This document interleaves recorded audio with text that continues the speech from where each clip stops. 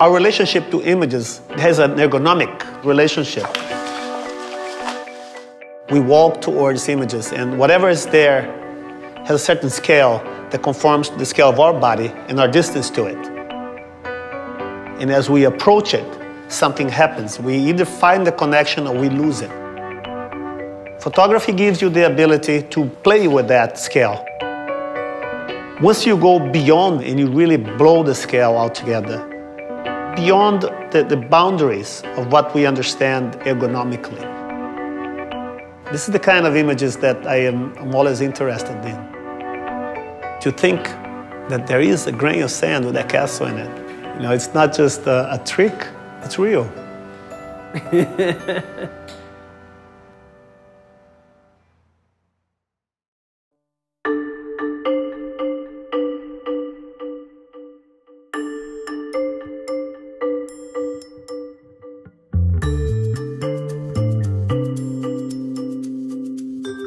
I used to work in a very small studio, and my work had a certain scale.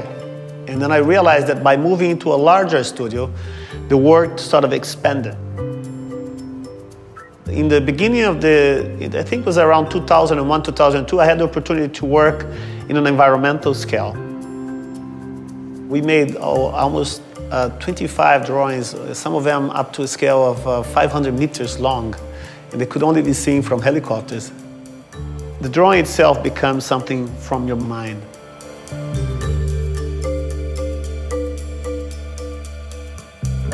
Around that same time, it made me think of going the opposite way around and, and actually making things so small that would create similar impression. They would be so tiny that it could only be imagined, it cannot be seen. And it was a very fortunate event that I ran into uh, Marcelo Coelho The first time that Vik talked to me about this project, I thought he was joking. He came to me, he was like, I've had this idea for a long time and I've really been wanting to do this.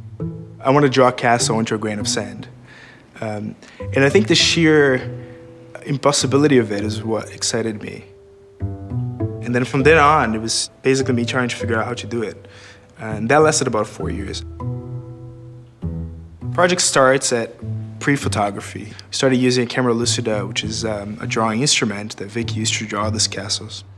The camera lucida is a 19th century device that allows you to make pictures. It's something that allows you to see what's in front of you projected in a board right below it, and all you have to do is to trace it. The inventor of photography, Henry Fox Talbot, was a terrible camera lucida uh, draftsman. That's probably the reason why he invented photography. So we start before cameras exist, and we end up at a point where cameras are kind of irrelevant or they're not even necessary.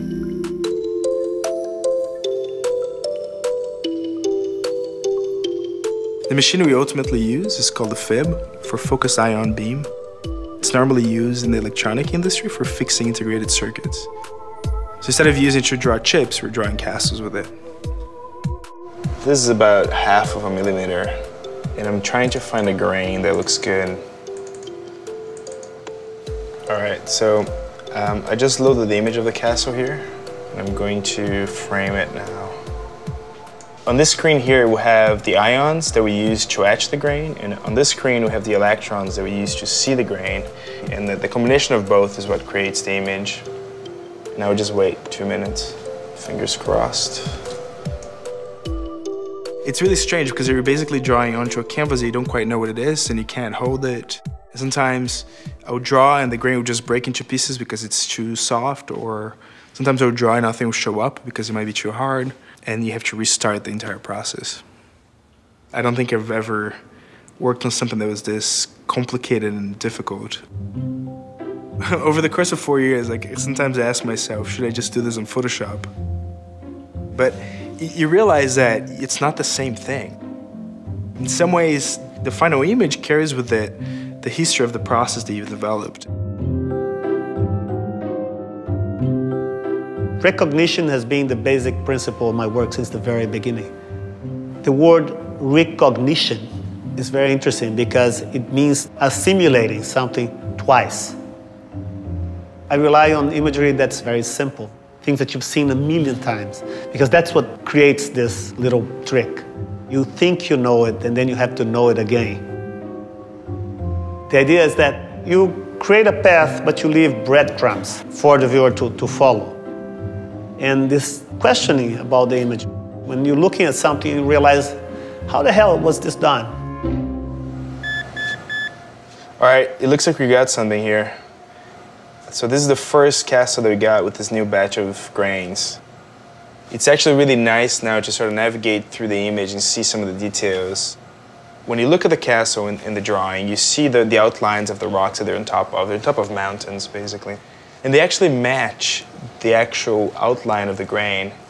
So there's this really interesting symmetry, right, where the mountain actually looks like the grain of sand, and they're entirely different scales.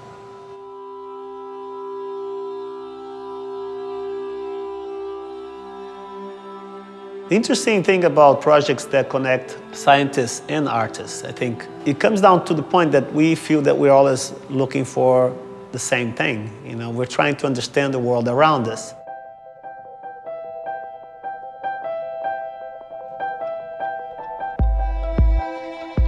I think photography in some ways is just sort of restarting.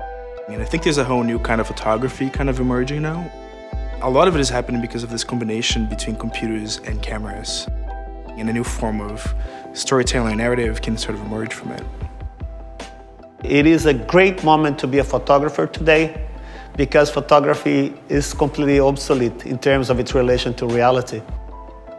We're pretty much at the spot where painting was around 1839 when photography was invented. Painting was sort of released from its relation to the factual world. Uh, painters had to think, what is painting? In a similar fashion, the relationship of, uh, between photography and reality has changed significantly with the advent of digital imaging.